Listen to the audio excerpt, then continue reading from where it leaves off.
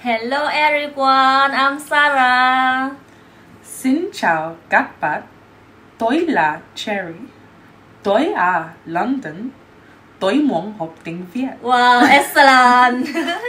thì mọi người ơi, thì giống như là tất cả những cái video em đăng lên về học tiếng Anh đó thì được sự ủng hộ nhiệt tình của rất rất là nhiều uh, các anh chị em. Và em cũng thấy được là mong muốn của mọi người nhắn tin hỏi về cho em là uh, bạn dùng cái phần mềm nào hoặc là dùng cái uh, máy tính nào mà tại sao cái giọng người đọc uh, tiếng Anh hay như vậy. Và em được biết là các bạn mong muốn học tiếng Anh giọng Anh Anh rất là nhiều. Uh, nên là hôm nay em sẽ giới thiệu với mọi người luôn là hồi trước tới giờ là những cái bài học tiếng Anh của em không phải dùng công cụ gì hết không phải không dùng máy móc hay là không có dùng phần mềm gì hết.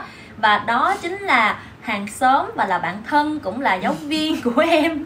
Là bạn Cherry là hỗ trợ trong tất cả các uh, video học tiếng Anh của mình. Đó thì bạn đó sau nhiều lần uh, hợp tác có nghĩa là giống như sau nhiều lần bạn đó hỗ trợ cho em để làm những cái video tiếng Anh thì bạn đó cũng có mong muốn là bạn đó được học tiếng Việt. Và bạn đó có nghĩ một ý xin là bạn đó hay là uh, Cherry dạy cho em học uh, tiếng Anh và sau đó em sẽ dạy cho Cherry học tiếng Việt. Như vậy thì bây giờ uh, mọi người sẽ cùng nhau học với Cherry luôn coi ai sẽ nhanh nhất. Thì cái lộ trình của cái cách em dạy như sau. Có nghĩa là em sẽ soạn từ cơ bản bắt đầu luôn. Nó có nghĩa là dành cho một người mà chưa biết gì về tiếng Anh luôn. Giống như Cherry chưa biết gì một tiếng Việt hết em sẽ dạy cơ bản bước từng bước luôn. Và cách em dạy thì không giống như cái kiểu truyền thống trước kia mà mọi người hay học hay là trên mạng người ta dạy đầy rẫy có nghĩa dạy phát âm từng chữ.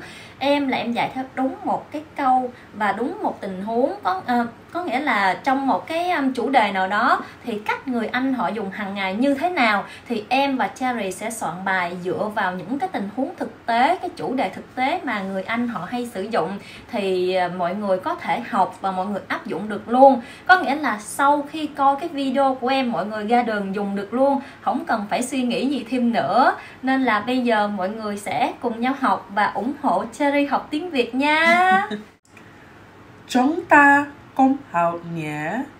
Nói tan kinh nhé. Xin cảm ơn.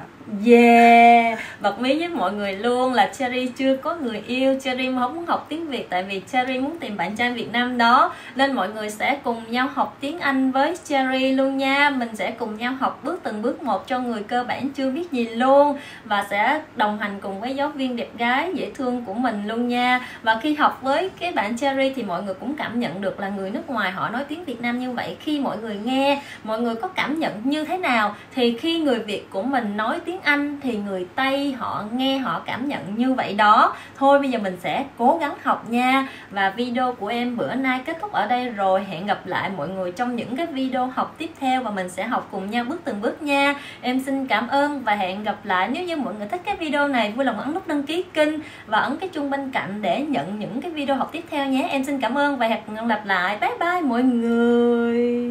Bye bye. Bye.